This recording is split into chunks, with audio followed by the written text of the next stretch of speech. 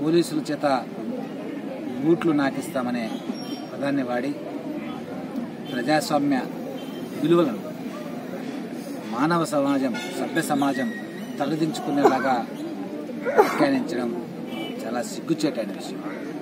మరి ఆయన వాక్యలను ఆయన మాటలను సుమోటోగా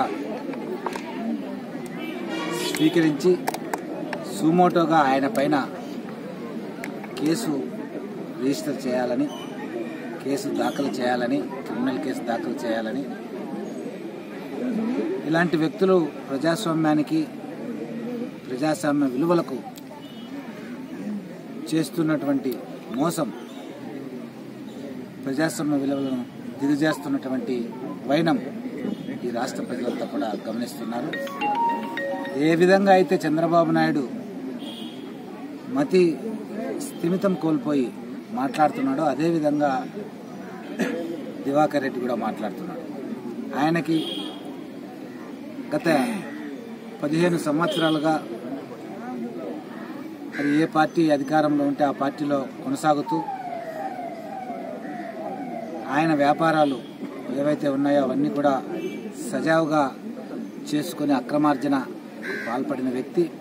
ఈరోజు ఈ రాష్ట్ర ప్రజానీకం జగనన్నకు అవకాశం ఇచ్చి జగనన్న ముఖ్యమంత్రి కావడంతో మరి ఏవైతే ఆయన అక్రమ వ్యాపారాలు అక్రమార్జన ఉందో వాటన్నిటికి కూడా ఈరోజు ఇబ్బంది కలుగుతుందని ఎవరైతే న్యాయపరంగా చట్టపరంగా వ్యవహరిస్తున్నారో పోలీసులు వాళ్ళని ఇంత నీచాతి నీత నీచంగా మాట్లాడడం ఆయన దిగజారుడుతనానికి ఒక నిదర్శనం.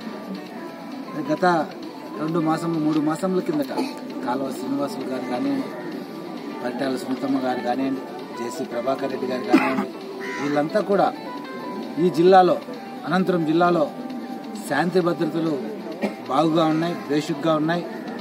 ప్రస్తుతం ఇక్కడ పనిచేస్తున్నటువంటి ఎస్పీ గారు ఎవరైతే ఉన్నారో సత్యేష్ బాబు గారు మరి నిష్పక్షపాతంగా వ్యవహరిస్తున్నారని చెప్పినటువంటి ఈ వ్యక్తులు మరి ఈరోజు మరి చంద్రబాబు నాయుడు ఈ జిల్లాలో శాంతి భద్రతలు లేవని అలాగే దివాకర్ రెడ్డి గారు పోలీసులు పక్షపాతంగా వ్యవహరిస్తున్నారని కక్ష సాధింపు ధోరణిలో వ్యవహరిస్తున్నారని మాట్లాడడం సిగ్గుచేటు వాళ్ళ దిగజారుడితనానికి నిదర్శనం. ఎందుకంటే మూడు నెలల కిందట ఇదే వ్యక్తులు మాట్లాడారు. ఈ ఎస్పీ గురించి కానివ్వండి ఈ జిల్లాలో శాంతి భద్రతల గురించి కానివ్వండి. మరి ఈ రోజు ఈ రోజుకి కూడా తెలుగుదేశం పార్టీ శ్రేణులు మరి ఈ సమాజంలో ప్రశాంతమైన జీవనం గడుపుతున్నారు. స్వేచ్ఛగా జీవిస్తున్నారు.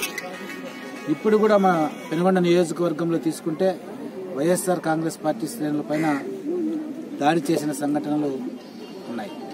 ఉదాహరణకు పందిపర్తి గ్రామంలో ఏదైతే మొహరం పండుగ సందర్భంగా మొహరం పండుగ అయిన తర్వాత తెలుగుదేశం పార్టీ శ్రేణులు వైఎస్ఆర్ కాంగ్రెస్ పార్టీ శ్రేణులపైన దాడి చేసి హత్యాయత్నం చేయడానికి ప్రయత్నం చేశాను.